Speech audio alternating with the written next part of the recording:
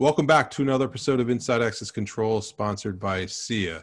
Very excited today to have Steve Humphreys with me, uh, the CEO of Identiv, uh, very well known within the industry. So uh, I'm sure most of the people that are watching this uh, are, are, familiar with Steve and, and, the company, but they've actually recently had a, a, a, lot of news that has come out and really been on the forefront of a lot of the trends that you're seeing in the marketplace currently now with COVID, federal government, enterprise, the rest. So thought it'd be good to have Steve come on and uh, have a conversation about what you're seeing in the market. So Steve, thanks very much for taking the time.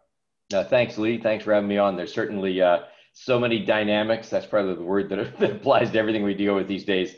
That uh, happy to talk about it and happy to go into whatever direction you want to go into and, uh, and talk about what we're seeing in the business. I appreciate it. So why, why don't we start off? We'll, we'll get the uh, the corporate stuff out of the way, then we can get in the conversation. But um, for those that aren't familiar uh, with the different brands and that that you have, and, and really your history within the industry, um, if you don't mind, can you give a little bit of background on that, and then speak a bit to some of the new stuff that you've had recently come to market? Yeah, you bet. Uh, certainly, we've been in the industry for uh, for over 30 years. As uh, as, as any, most people watching us will know, our Hirsch brand uh, is, uh, is, is probably the best known in the physical security space. Uh, we acquired a company uh, in the uh, video analytics space called 3VR, which we've now integrated with our access control. We also acquired the Freedom line of, uh, of web and, uh, uh, and edge-based access control, which also included Enterphone, which is the telephone entry. and and we have a, a pr pretty rapidly growing RFID business, all the transponders that go into all the facilities um, and a smart card reader authentication business. So we've been in the convergence space for a long time.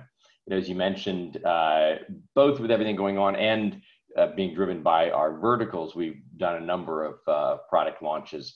Um, for example, we, uh, we, we launched a contact tracing app, um, which which really any uh, uh, access control company can do to track when people are coming in and out of the building. If someone comes up positive with a COVID test, you know, who was going in and out of the, that same facility in that same time frame as that person. You know, very straightforward.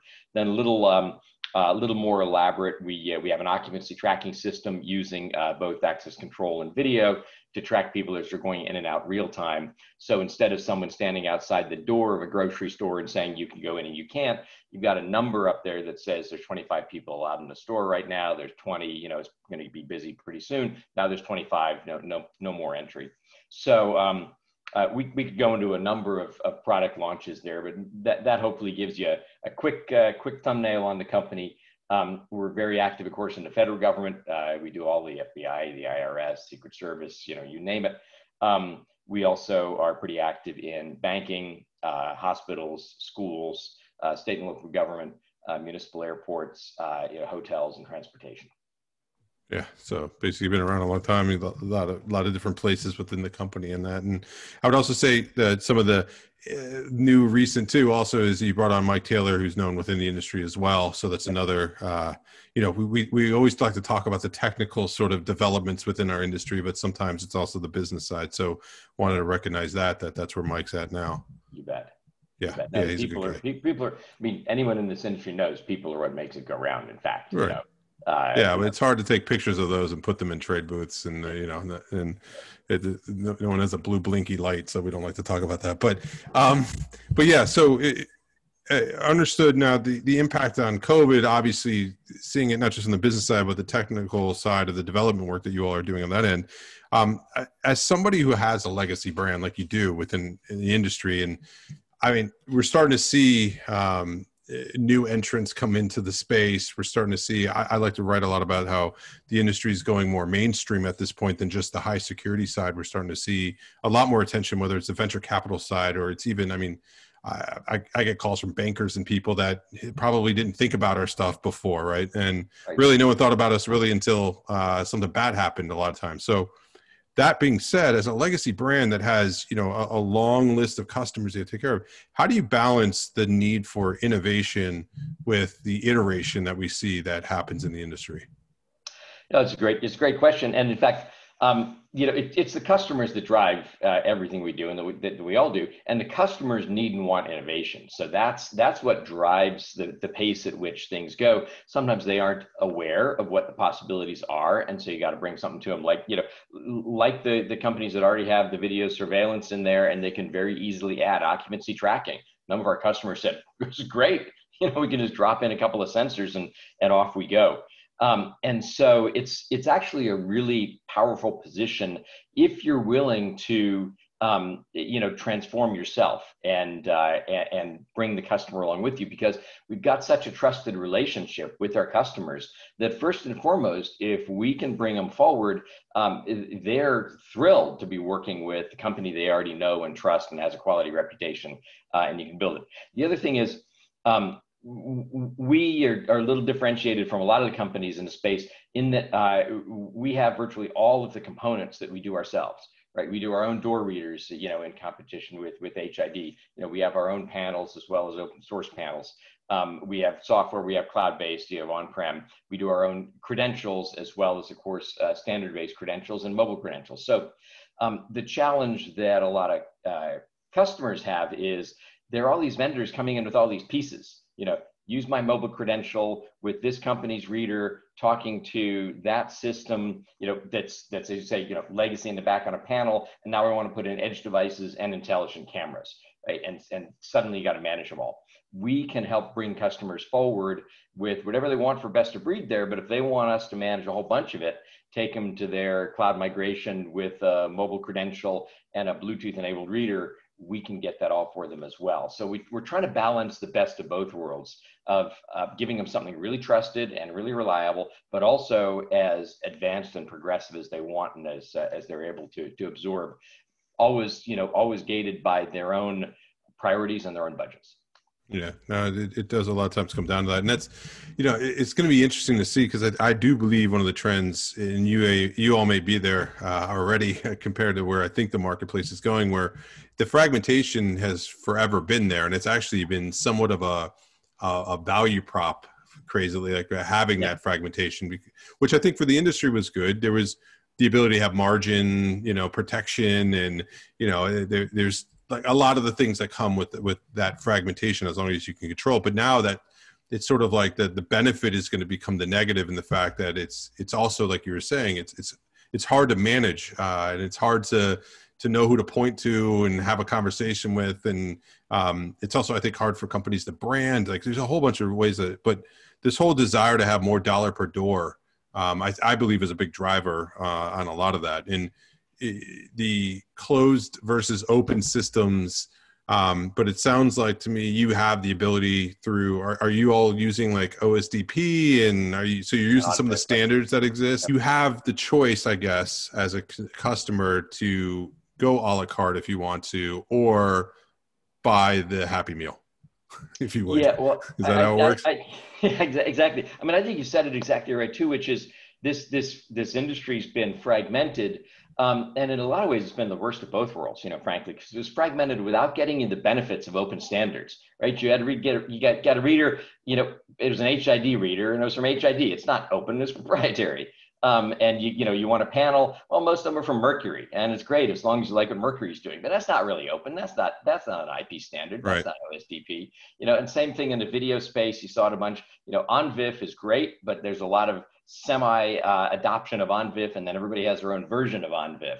Um, so we yeah, they're really, like Android, I guess. Is uh, that yeah, a good way of looking at it? Yeah, yeah, exactly right, exactly right. There's a bunch of different Androids, and especially Android different implementations, and and and people are seeing, you know, with with with, with the Apple model, you know, somebody controlling the platform, but also a lot of openness, and you can interact into it. So you've got tons of apps, and you got tons of devices that are connected to it, um, and then ultimately, uh, there's there's a lot of open source that is starting to come in here. I mentioned our telephone entry uh, space. Um, the vast majority of SIP telephony can just be done with open source software, you know, on a, on a Linux kernel, and suddenly you have something that is truly interoperable. Um, and yet gets the benefit of being integrated with your system. So I, I, think the, the industry is, is transforming there. The good news is a lot of both the CISOs and, and CISOs understand actual you know open platforms and they know how it works and they want it. But our industry you know a lot of people make money from little proprietary silos and uh, and you know we, we, you know some in the industry are doing a little bit of bait and switch on uh, you know here's the next generation of our proprietary silo. It's open but it's not really. No i agree. get people there fairly quickly Yeah, and I, I, believe as it gets out of the cottage industry and it gets a little bit more, I, some of those things are going to be uh, pressed. And, and I actually, I, I, wonder if there's you know uh, parallel strategies in place by some of these companies where they're going to try to get as much out of that as they possibly can, and they know at some point that that dance is going to end, so they're going to have to shift over and and and and uh, all of a sudden they'll start to support it. I mean, I, I you know, it, it, the more that say like Apple and some of these other people come into play, and you you know, and, and they start to push some of that stuff, and those are 800 pound gorillas that, are, as you know, you dance with them now.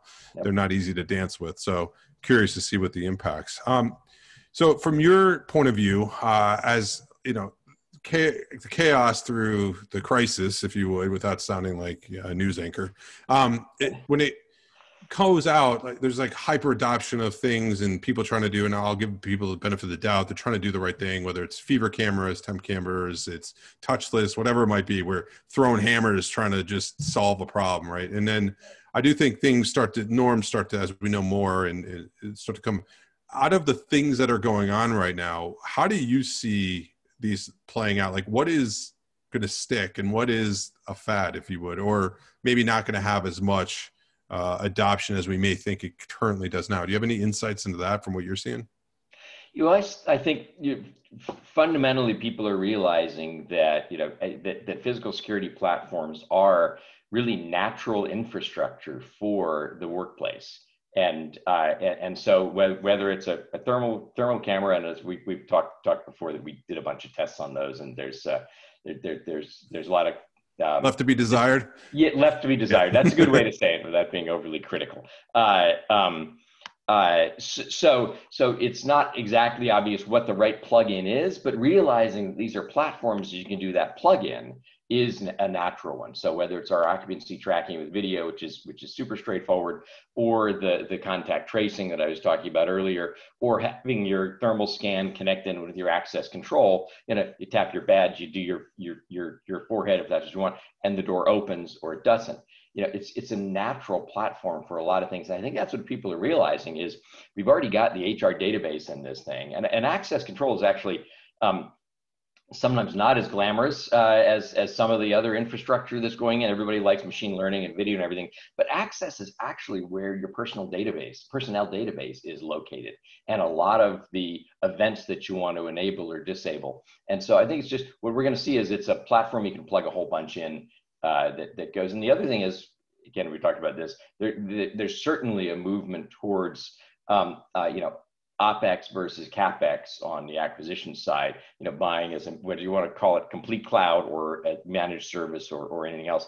Um, that then also allows the the continuous upgrading and enhancement of capability of the system. I think that's going to be you know a trend that uh, that has really been accelerated by this and is not going to slow down yeah, no, I would agree. I, you know, cloud we've been talking about for a while, yeah. and now uh, it's gone from a nice to have to a uh, need to have. I wouldn't even say have to have it. It's, it's sort of like the the connectivity, the remote access, the business continuity side of it.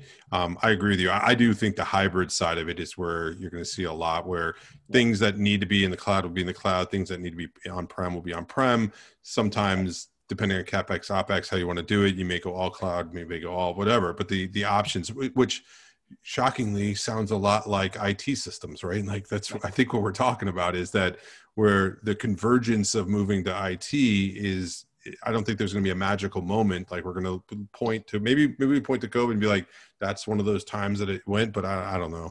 Um, I, I, also agree with you. I think the operating system of buildings and looking at the utilities of how they work together. Now, whether it's an access control system that can be that, or the access control system is a feature of a system that does that, or the capabilities, yeah. right?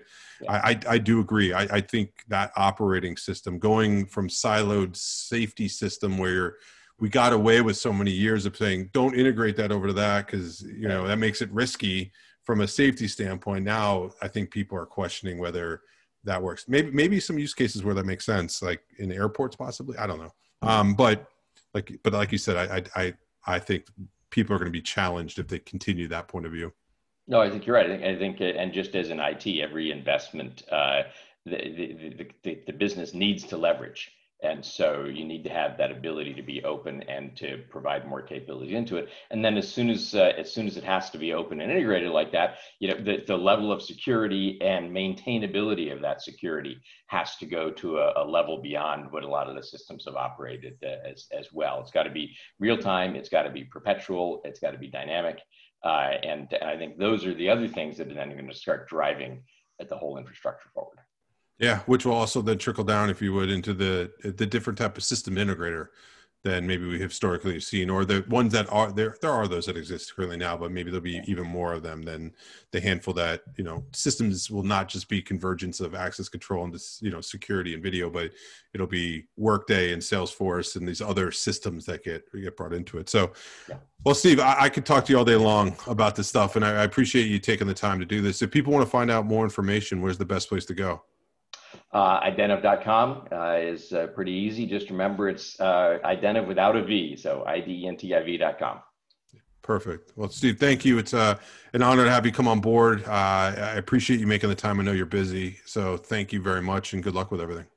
Thanks, Lee. It's always a pleasure to talk.